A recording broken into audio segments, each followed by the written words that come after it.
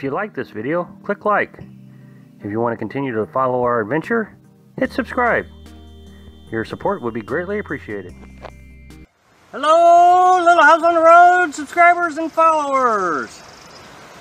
So, uh, today we're going to go over five camping hacks. I might actually make this a monthly series. I apologize for the wind. I will try to talk as loud as possible. I've been putting off doing videos for several days now because of the wind and weather, but I gotta I gotta get back on doing some videos. So anyway, as I was saying, we're gonna do five camping hacks uh, that we've used that seem to be very successful for us. So, start them out. Number one, natural tick deterrent.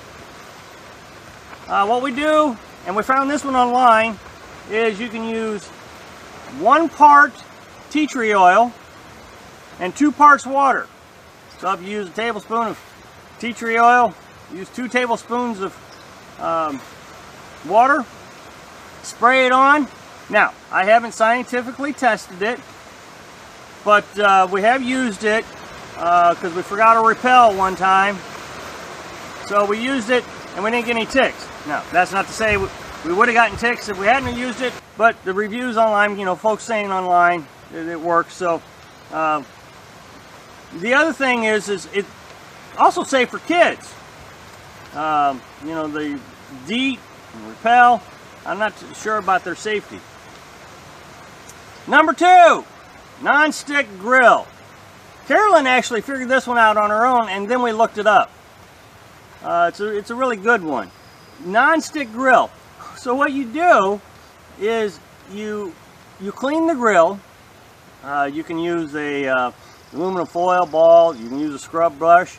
Sometimes Carolyn just uses a stick. So you clean it off real good. And then you put on some vegetable oil. Put it over the grill. And you cook that. You heat it up, get it nice and hot. And then let it cool off. And then you put some more on it and it does a really good job of keeping the grill from uh, allowing your, your meat to stick to it. Number three, non-stick cast iron casserole dish. It's got an enamel paint on it or something. This thing is absolutely wonderful. It was a good idea that we used it. We thought about getting a Dutch oven, but this one actually has a few more uses, at least we think. And we can use it as an oven on the grill. We can use it in the uh, pop-up. We can use it on the grill. Uh, we can fry in it, we can bake in it. Carolyn has used it for a lot of different things and a lot of different little tricks that she has used it for. Um, you can put it right on the coals. Uh, so she decided that she wanted the cast iron casserole dish over a Dutch oven. One, because it has a lot of uses. And two, it, it brought down the weight, you know, just another cast iron dish that we would have. So she's actually got two cast iron um, utensils, the casserole dish and then a frying pan. Um, and we haven't broke down and got a Dutch oven yet. We may one of these days, but for now we seem to be very happy with the casserole dish. Number four, wash machine. Not really. This one's a neat little hack. It's a bucket, and you can do it a couple different ways, but you can use a bucket and a plunger. And you cut some holes in the plunger, uh, right there on the top. The plunger only costs a dollar if you go to the Dollar Tree. The bucket, you know, you can use whatever bucket you have available or go to a uh, hardware store. You can pick them up for three or four dollars. So what you do is you cut a hole in the lid. This is option one. Carolyn doesn't like this option. Cut a hole in the lid. Put your laundry in, water, your detergent in the bucket. Put your plunger in the bucket and then slide the stick through the uh, lid, the hole, and uh, start plunging.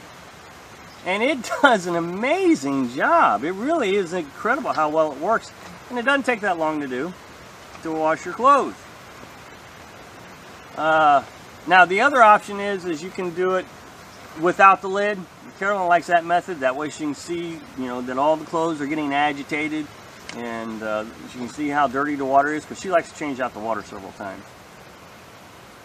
And then finally, number five, and it seems like this one is probably a no-brainer. Um, a, a, a, foam noodle or uh, uh, pool noodle is another way they call it. Uh, the one with a little hole down the center of them. You cut a slit along the side, on the edge, and you can put these around everything.